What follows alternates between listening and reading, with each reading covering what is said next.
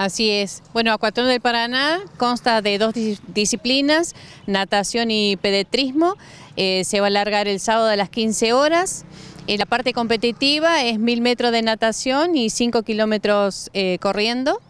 Y la largada va a ser desde eh, altura de Secretaría de Turismo hasta aquí el balneario municipal.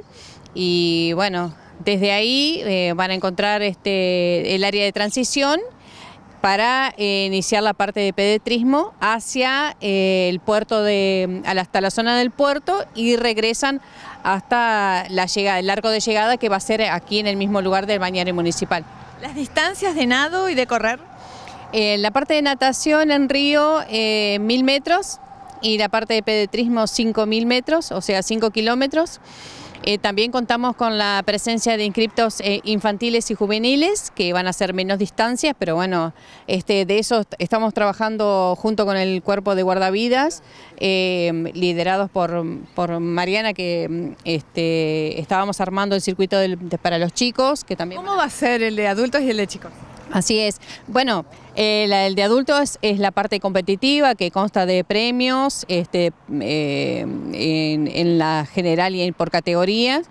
Y en la parte de los chicos que es participativa, bueno, ellos van a tener su remera, su medalla y algunos regalos en el kit para ellos. Y bueno, eh, las distancias lógicamente son mucho más cortas, van a nadar entre 100 y 200 metros, hasta 400 metros en el agua y salen, bueno, a un recorrido aquí por la costanera cortito, en la parte de pedetrismo, como ellos copian a los grandes, digamos. ¿Y los grandes qué recorrido van a hacer?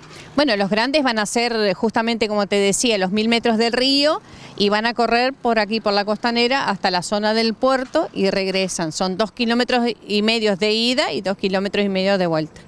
¿Hay inscripciones todavía abiertas? ¿Hasta cuándo se pueden inscribir las personas interesadas? ¿Y no hay límite de edad? ¿Estas disciplinas se pueden comenzar de grande? Eh, no hay límites de edad porque los chicos desde los 5 años hacia adelante hay personas que pueden participar. Es muy lindo, es muy entretenido.